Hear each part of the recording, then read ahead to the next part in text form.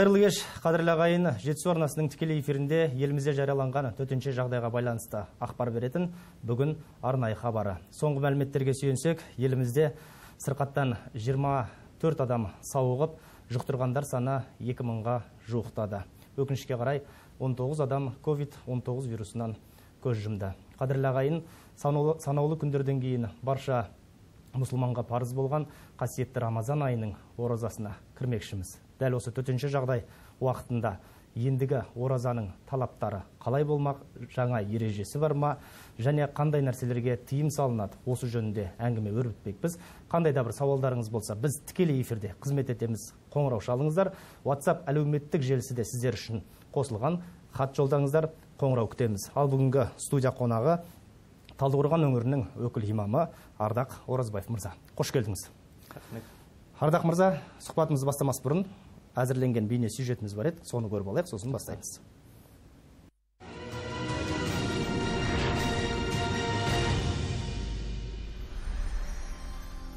Биыл 24 сәуірде яғни үш күннен соң мұсылмандар ауыз бекітеді бірақ жұқпалы індеттің таралуының алдын алу мақсатында мешіттерде мейрамханаларда қоғамдық орындарда тағы басқа мекемелерге жиналып ауызашар беруге рұқсат жоқ. Төтенше жағдай кезінде пітір садақаны каспи нүкте kz мобильдік қосымшасы арқылы бере аласыздар. Бұл туралы қазақстан мұсылмандары діни басқармасының төрағасы наурызбай қажы тағанұлы мәлімдеме жасады. Қасиетті айда тарауық намазды қалай оқимыз деген сұраққа да бас мүфти жауап берді. Карантин мерзімінде тарауых намазын мешіттерімізде жамағатпен оқылмайтынын мәлімдейді. Әркім тарауых намазын өз шаңырағында отбасы мүшелерімен оқуына кеңес береміз. Біз осылай оқшалану арқылы жұқпалы індетті жеңеміз иншалла. Мешіттің есігі жабылғанмен сауап есігі жабылмайды. Ораза кезінде білікті имамдар мен ұстаздар 30 күнде 30 уағыз атты онлайн жоба дәрісін жүргізеді. Үйде отырып маңызды әрі ғибратты тақырыптар төңірегінде білікті дін қызметкерлері мен ғалымдардың насихатын тыңдауға мүмкіндік бар.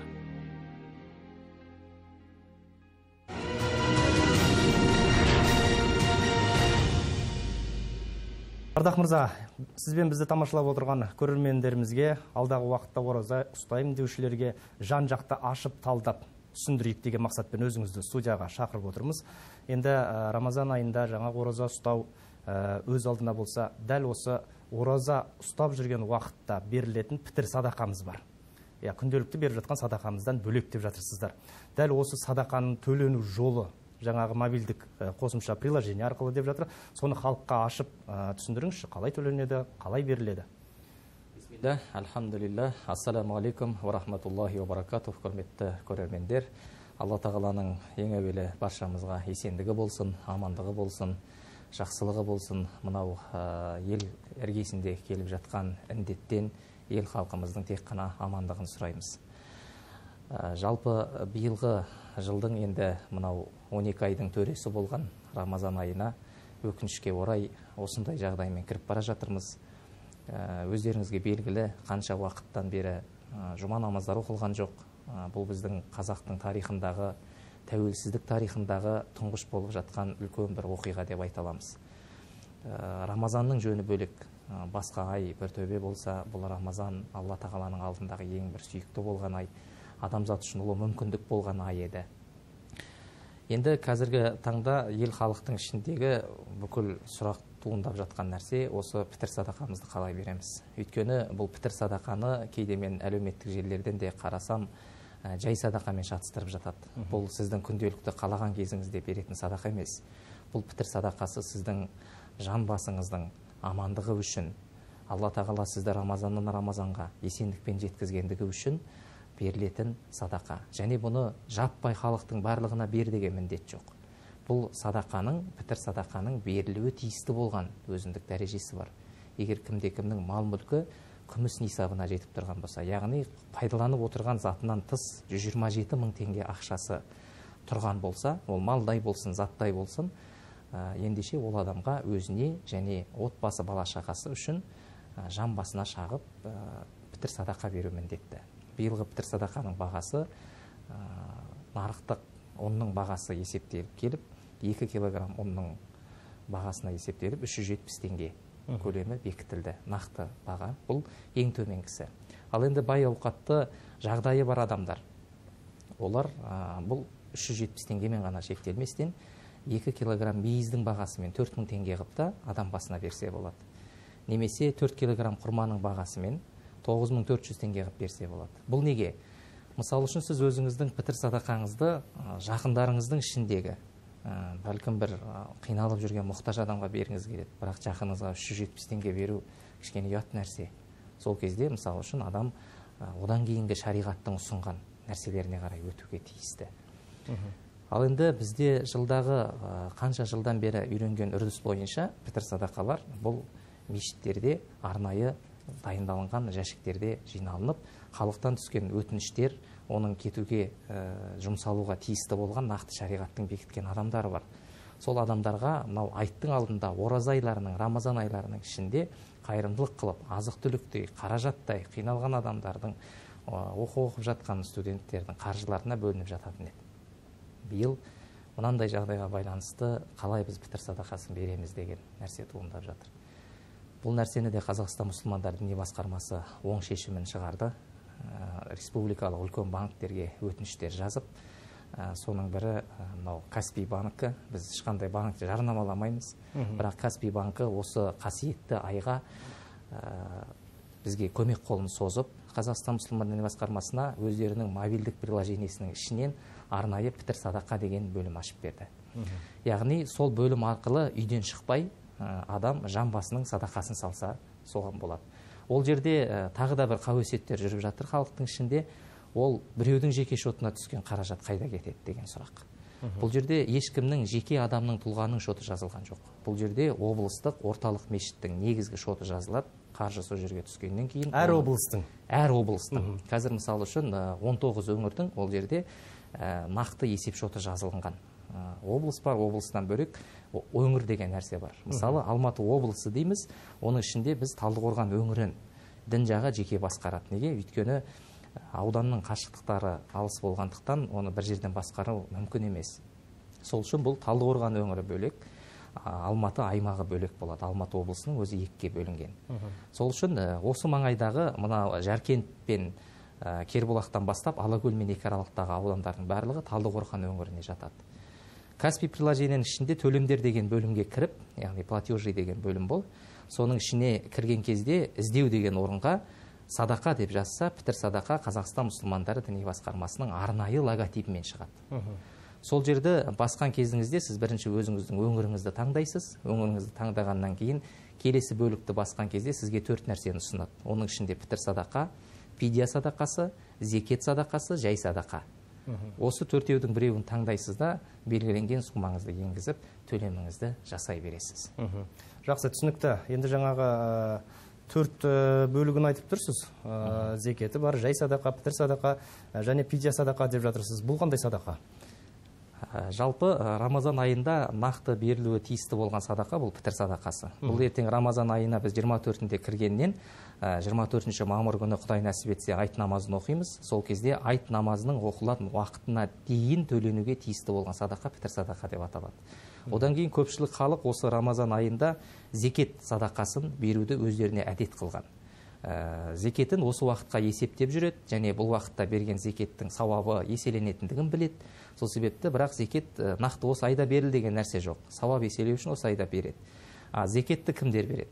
Зекет деген ә, садақаны жаңағы біз нисап мөлшерін күміспен күмістегі нисап мөлшерін есептеген адамға пітір садақаны міндет қылдық. Енді алтындағы нисап мөлшерін есептеген адамға зекет садақасы парыз болады. Яғни кімде кімнің өзінің жеке пайдалануынан тыс болған қаржысы 1 миллион 170 теңгені құраса 170 мың теңгені құраса.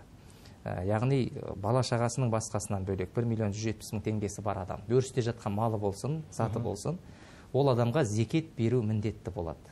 Яғни тапқан пайдасының екі жарым пайызы ол мұң мұқтаждардың хақысы болып есептеледі ол мал оған адал емес. Мынау кәдімгі ет қайнатқандағы сорпаның бетіне шығатын көбік секілді. Егер оны алмасаңыз ол етті бұзғандай егер зекет уақытында берілмеген болса ол оның мал мүлкін бұзады оның берекесін кетіреді. Енді пидия садақасы. Үшінші бөлік фидия садақасы. Фидия садақасы деген не? Фидия садақасы деген рамазан айында ораза тұту барлық кәмелетке яғни балиғатқа толған ақыл есі дұрыс мұсылманға парыз.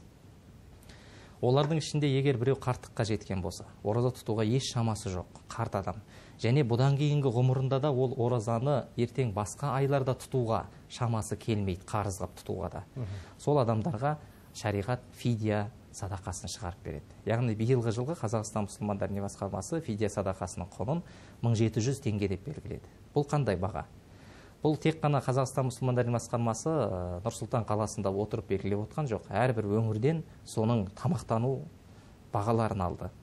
Соны есептей келе саралап ә, оған талдықорған өңірі де ұсынды. Яғни таңғы кешкі тамақтарын есеп екі уақыт.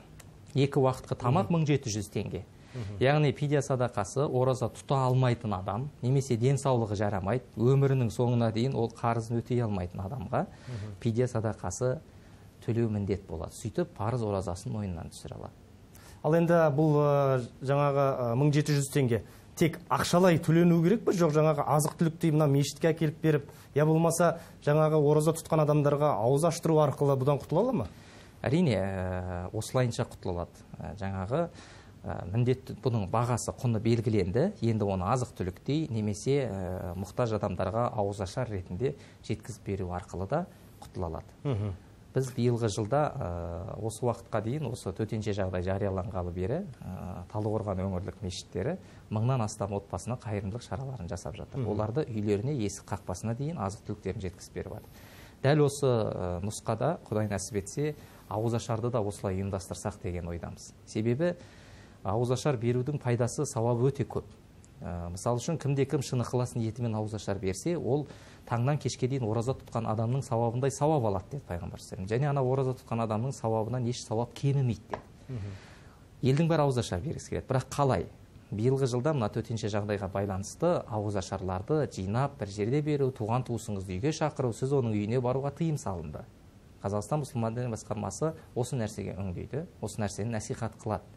Яғни ә, муфтияттың ұсынысы үйіңізде бала шағаңызбен ауыз ашыңыз бірақ ауызашар қалай береміз деген нәрсеге біз ә, кімде кім ауызашар бергісі келсе мешітте арнайы мұқтаждардың тізімдері болады.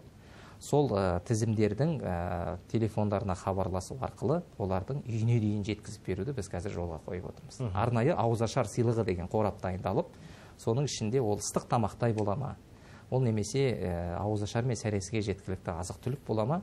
Ауызашар форматын осылай жасауға ниет етіп отырмыз мұны таратуға еріктілерді жұмылдырасыздар ма жоқ ә, жаңағы ә, имамдар ә, өздеріңіз ұйымдастырасыздар ма қалай болады? Әрине еріктілерді жұмылдырамыз. Осы күнге дейін біздегі қайырымдылық шараларына арнайы ерікті мешіттің жамағат топтары бар. Сол ерікті топтар өздерінің көліктерімен келіп сауап табу мақсатында әркім мынау үлкен үлкен саяжайлардағы тұрып жатқан жерлерге дейін ерікті топтар жеткізіп беріп жатыр. Жақсы. ә, түсінікті. Мынау ә, алып қосарымыз жаңағы ә, мобильдік қосымшаға қолдана алмайтын азаматтар бар. Мәселен жаңағы егде тартқан қарияларымыз бар. Ә, түсіне бермейтін. Я болмаса тіпті ә, жаңағы ұялы телефонға да зәру азаматтар бар арамызда. Ондай кісілер зекетті қалай береді?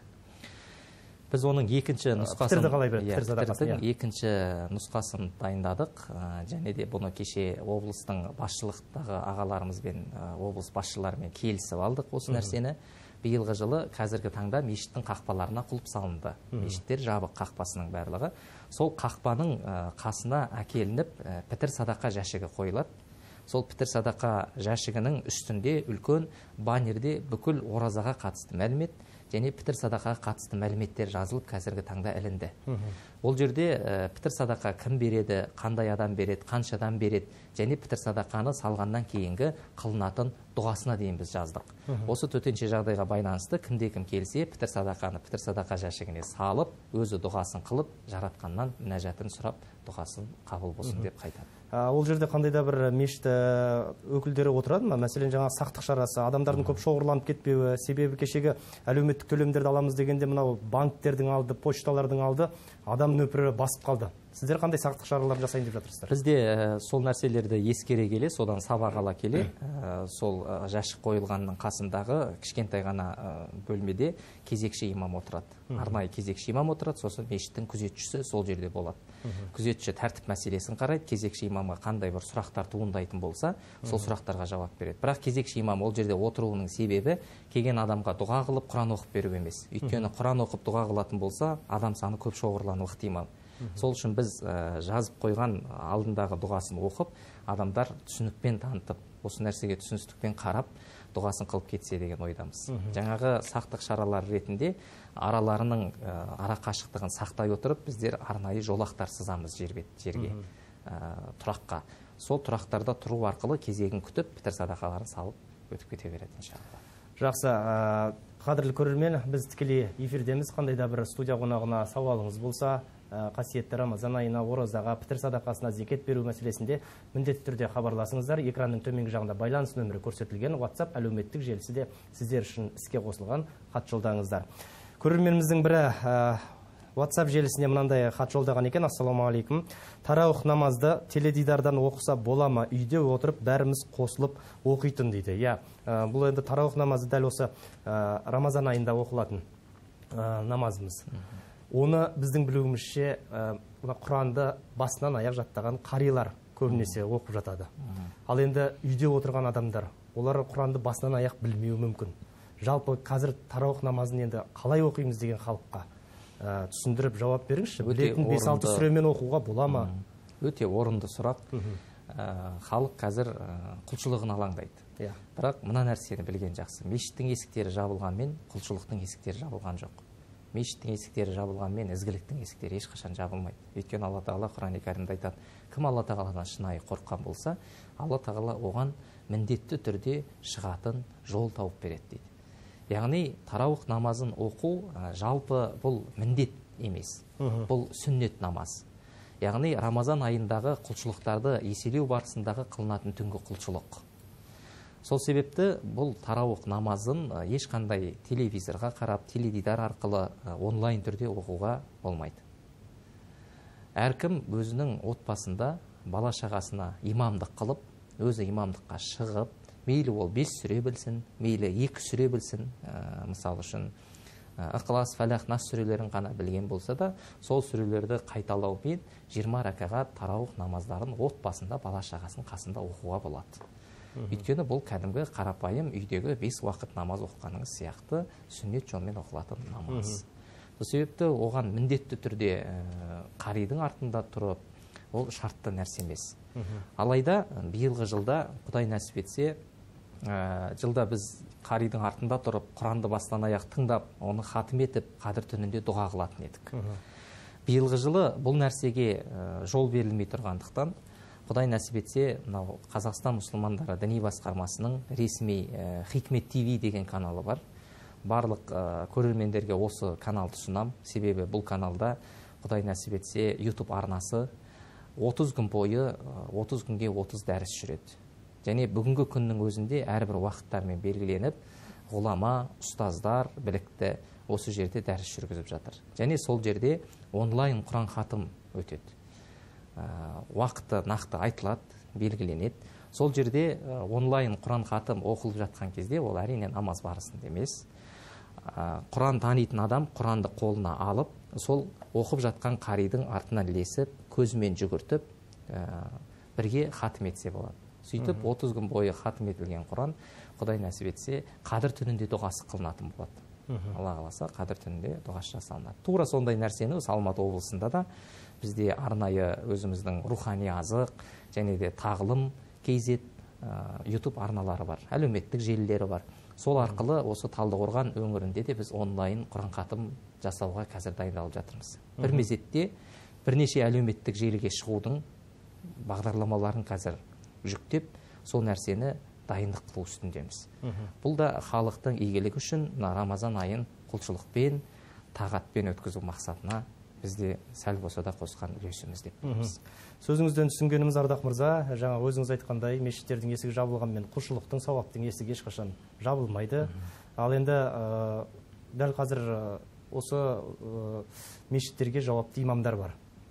Ә, демек ол кісілер құран хатым жасайды ғой мешітте отырып әрине иә 30 күн бойы әрине иә имамдар барлығы болады сол жерде ә, дәл қазір мешіттің ішінде өздеріңіз ә, сақтық шараларын қалай жасап жатырсыздар бізде ә, арнайы бірінші күннен бастап осы төтенше жағдай жарияланған кезден бастап мешіттеріміздің барлығы толыққанды залалсыздандырылып отырылды әрбір екі сағат сайын сосын бұл мешіт ғимаратында бізде есік терезелер көп тіпті төбенің өзіндегі күмбезде бірнеше ашылатын терезелер бар. Сол арқылы желдетіп және де арнайы ә, қойылған ә, залалсыздандыратын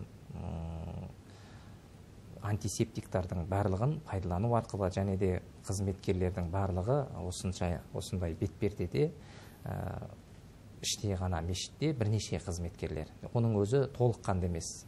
Біраз қызметкерлер жұмысынан уақытша қысқартылды. Осы жағдайға байланысты қазір тек қана күніне бір кезекші имам күзетші қана мешітте болады. Азан айту мақсатында. Өйткені ә, намаз тоқтағанмен осы уақытқа дейін аллаға шүкір мешіттің азандары тоқтаған емес. Сақтық шаралардың барлығы қазір жасалынып жатыр. Ертең рамазан айында бұл нәрсе тура осылай сақтық шаралары ары жасалына береді. Бірақ мешіттің ішіне сырттан келген ешқандай бөгде адам кіріп жатқан жоқ қазір. Қақпалардың барлығы жабылған. Ардақ мырза бізді тамашалап отырған көрермендеріміз үшін ә, дәл қазір ә, оразаның ә, енді білетін де бар шығар білмей бірінші рет ұстаймын деп жатқандар да бар шығар. Оразаны ұстау тәртібі және оның сауабы қандай екенін жөнінде сондай ақ мынау құлшылығы артып иманы күшейіп жатқан азаматтардың бәлкім кейбіреуі ә, жұма намазында барып мен ғана баратын шығармын болмаса бір екі ақ адам болатын шығармыз мешітке барып оқи қояйық деген азаматтарға айтарыңыз болса. Жалпы иә ардақ мырза осы жерден сөзіңізді бөле тұрайын. Себебі бізге хабарласқан көрермен бар екен сол сүйін жауап берейік қайырлы кеш көрермен біз сізді тыңдап тұрмыз. Аха. Жұма мен сізді талдықорған қаласынан хабарласып тұрмын сұрағым имам мырзаға. Ә, менің ұлым ә, осы өткен оразада тыңдап тұрмыз көрермен. Сауалыңызды қоя беріңіз. Ұстай алмай тұр. Бола ма? Көрермен мүмкіндік болса сауалыңызды бір қайталап жіберсеңіз. Алдымызда өткен ораза айында менің балам ұлым үш күндік қарызы қалып қалған еді себептермен енді сол оразасын ұстайын десе қазір байланысты ұстай алмай жүр. Енді сол үш күндік оразасын ораза біткеннен кейін ораза біткеннен кейін ұстауға бола ма жақсы рахмет көрермен сауалыңызға сұрақ түсінікті шығар. түсінікті. Ә, әлбетте ең абзалы қарыздан жылдамырақ құтылғаны. Егер рамазан айында қандай да бір жағдайлармен ораза ұсталынбай қалған жағдай болса ә, ол ораза дереу рамазан айынан кейін ұстаған жақсы. Әрине жағдайға қарай. Ә, себебі рамазан айынан кейінгі бір шәуәл айында ұстайтын бір алты күндік қосымша ораза бар. Сол алты күндік қосымша оразаны ұстамас бұрын рамазан айының бірінші қарызынан құтылып барып ұстаған абзалырақ деп айтамыз. Ал енді рамазанның қарызын келесі рамазанға қалдыру бұл сәл ә, дінге деген ықыластылықтың аздығы салақтық па деп бір кішкентай қатты болса да айтайық. Ә, себебі арада осы күнге дейін 11 ай уақыт өтті. Мен түсінемін жаңа көрермен айтып жатыр жағдайы болмай жатыр. Бірақ егер мүмкін болса ертең бүрсігүнгі екі күндік ораза қарызынан құтылып кейін алла тағалаға бір тәуба қылып рамазан айының оразасына кірсе болады иншалла. Кейін бір күнін рамазан айы бітісімен құдай нәсіп етіп биылғы жылы қарызсыз өтсін деп айтамыз бауырымыздың. Рамазан айы бітісімен бір күн оразасын қайтып ұстап алады құдай қаласа. Ертең таңертең ниет білдіре қойсын деп айтқым келеді жақсы ардақ мырза біз тікелей эфирде қызмет етіп жатқаннан кейін мейлінше көрермендеріміздің сауалына жауап беріп үлгерейік. Ә, дәл қазір ватсап әлеуметтік желісі арқылы келген бір хат. Ассалаумағалейкум. Белгілі бір себептермен ақшадан қысылып пайызға процентке ақша алып еді жолдасым. Ораза қабыл бола ма дейді. Оразаның парыздығы бөлек нәрсе. Ораза деген бұл алла тағаланың біздерге парыз қылған құлшылық ғибадаты әлбетте егер жағдайы шын ол аллаға мәлім қаншалықты дәрежеде мұқтаж болғандығы сол мұқтаждығына сәйкес ол егер жаңағы пайызға ұрынған болса пайызды алған болса ол онысы үшін өзі бөлек алла тағаладан кешірімін сұрар. Бірақ оның биылғы жылға кіріп тұрған оразаға ешқандай қатысы жоқ. Сол себепті оразаға ниет етіп қайта осы ораза айында алла тағаладан көп дұға қылып қайтып осындай нәрсеге ұрынбайтындай. Мүмкін алла тағаладан ризық несібесінің кеңеюін сұрау керек. Біз кейде пенде ә, сұраған кезде мынау ә, дүние ғой алла тағаладан бұны қалай сұраймын? Деп ұялып қаламыз. Бірақ алла тағаланың алдында басқа нәрсені жасауда кейде ұялмай жатамыз. Алла тағаладан егер сіздің бәтеңкеңіздің бауы болмаса да алладан сұра деген ғұламалар. Сол үшін біз жаратылған жаратушыға мұқтаж болғаннан кейін әрбір ұсақты ірілі ісіміздің барлығынды алла тағалаға тапсырамыз аллаға жалбарынамыз. Жақсы рахмет. Толыққанды жауап болды. Тағы да көрерменіміздің жолдаған сауалы. Ассалаумағалейкум. Мен намазды жаңадан бастайын деп едім. Тоқсан күн рұқсат етілген бе? Кітапқа қарап оқу дейді. Ә, әлбетте оның енді нақты бір 90 күн деген нәрсесі жоқ. Енді ол 90 бір жерден естіген болуы мүмкін. Иә бір жерден естіген болуы мүмкін. Бірақ енді 90 күнге дейін созып жүре берместен намаз ә, дұға сүрелері деген өте жеңіл. Бірақ қашан намаз дұға сүрелерін толыққанды үйреніп кетемін дегенге дейін қағазға қарап оқыса рұқсат. Амалдың бәрі ниетке байланысты. Иә амалдың бәрі ниетке байланысты. Алла тағала оның жағдайын көріп тұр. Ал енді мен тілім келмейді екен мынаны жаттай алмадым деп тастап қойғаннан гөрі қағазға қарап жүріп оқып үйреніп кеткен абзал. Оған рұқсат. Ардақ мырза дәл қазір ә, көпшілікті мазаландырып отырған бір сұрақ дәл мынандай. Төтенше жағдай уақытында дәрігерлер ә, жаңағы осы ә, вирусты зерттеп жүрген мамандардың айтуы бойынша біз қазір өзіміздің иммунитетімізді төмен түсіріп алмауымыз керек. Яғни күні бойы біз жақсы тамақтануымыз керек. Ә, жаңағы күш қуатымыз бойымызда болуымыз болу керек деген сынды. Ә, айтып жатқаннан кейін егер мен ораза ұстасам иммунитетім төмен түсіп кетеді ғой. Мен сосын ауруға шалдығып қалмаймын ба дейтін де азаматтар бар. Жалпы осы ә, ораза ұстаған адамның иммунитеті түсіп кетеді деген қандай да бір нақты дерек дәйек бар ма? Ә, негізінде мына медицина ғалымдарының зерттеулеріне жүгінетін болсақ ораза ұстаған адамның денсаулығы тек қана жақсарады. Оның қаны тазарады жүрек қағысы қалыпқа түседі асқазанның ішіндегі түктер тазалып жас баланың қанындай таза пәк күйге кенеді бұл ә, менің жеке сөзім емес медицина ғалымдарының сөзі. Оразада иммунитет ә, не үшін түсу керек? Ә, мысалы үшін біреулер ойлауы мүмкін ораза таңнан кешке дейін ашығу ғой деп. Тек қана сіз оразада түсте жейтін тамағыңызды түнде жеп аласыз таңда жейсіз. Бар болғаны сол. Бұл жерде сіз аш қаласыз деген нәрсе жоқ. Демек ешқандай иммунитетіміз түсіп ә, ондай болмайды ғой. Жоқ бұл ешқандай да иммунитетке рамазанның әсер ететіні жоқ.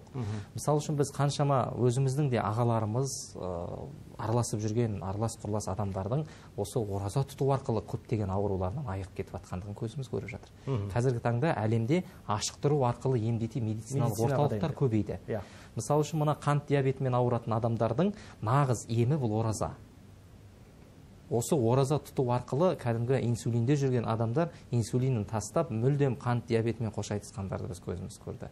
Жақсы бізге хабарласқан көрермен бар екен. Қазір жалғастырамыз. Байланысқа қосылайын қайырлы кеш көрермен. Сіз байланыстасыз. Сәлеметсіз бе? Сәлеметсіз. Мен имамға сұрақ қояйын деп едім мен былтыр негізі ораза ұстағанмын бірақ ә, қарыз болдым ба болмады қалыптым соны ауырып қалдым да бірақ оразаны ұстап шықтым. Бірақ кейін ауырдым да енді қайта оразаға биыл кірейін деп отырмын ғой. Соған мен енді гормон ішіп шығып таңертең соны мен таңертең алла дәрі ішуге бола ма маған? жақсы рахмет көрермен.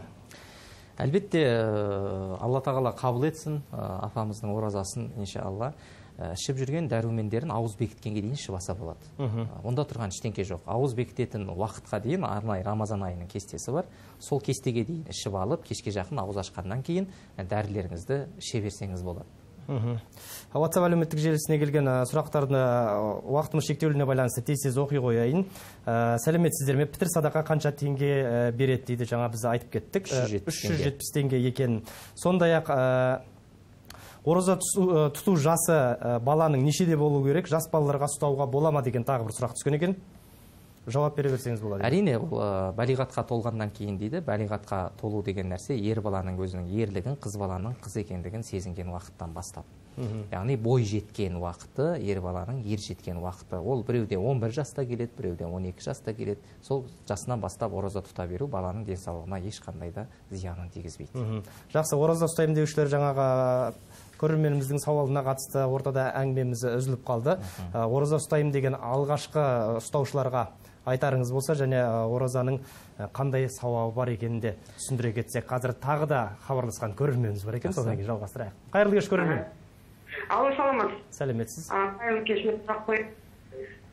Ораза ұстауға бола ма намаз оқымай жақсы рахмет көрермен сауалыңызға. Намаз оқымай ораза ұстауға болады ма намаздың парыздығы бөлек. Оразаның парыздығы бөлек. Әлбетте намазбен ораза тұтудың сауабы ә, теңдессіз оның сауабы бөлек жүреді. Бірақ ә, намаз оқымаймын екен деп тағы да бір парызды оразаны тастауға болмайды оразаға кіре берсе болады ниет етіп қайта алладан осы рамазан айында намазға тұрып кетейін деп тілесе алла жүрегін ашады бәлкім.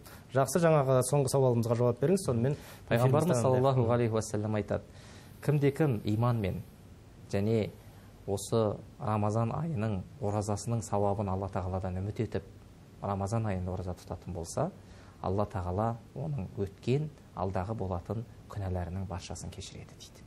Яғни рамазан айының бізге беретін сыйы бұл алғашқы он күндігі алла тағала біздің баршамыздың осы өзінің рахметіне бөлеген болса екінші он күндігінде біздің күнәларымызды кешіреді үшінші он күндігінде алла тағала өзінің есебіне сәйкес қаншалаған пенделерін тозақтың отынан құтқарады деген. Яғни ораза тұтқан адам күнәсінен толыққанды айығуға үлкен мүмкіндік бар. Үлкен күнәларын айтпағанда бұл сауабы. Сол үшін биылғы ораза тұтам деген адамдарға айтарым рамазан айының оразасынан ешқандай қорқудың қажеттілігі жоқ. Дәл қазіргі жағдайда. Дәл қазіргі жағдайда ә, мен жаңағы аузым кеуіп қалады екен немесе енді бір медицина мамандары арнайы келіп айтқан болса сіздің денсаулығыңыз мынандай мынандай нәрседе ораза тұтуға зиян. Нақты бір мамандардың пікіріне сүйенсе әркімнің пікіріне емес.